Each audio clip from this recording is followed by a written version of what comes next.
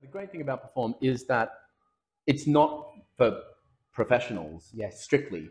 It's not for people who are wanting to be professional strictly. You can come in here and do, you know, taster classes and get to see how things operate. You get to see wonderful performance on stage and go, wow, I wonder if I can reach that level. Mm.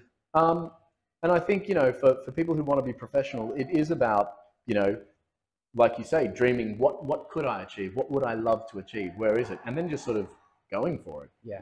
Um, and, and, and, and experiencing other people's level. Like I constantly go to dance places. I'm like, for instance, Masked Dancer and having Heather who, who won. And I was just like, oh, Who we had here.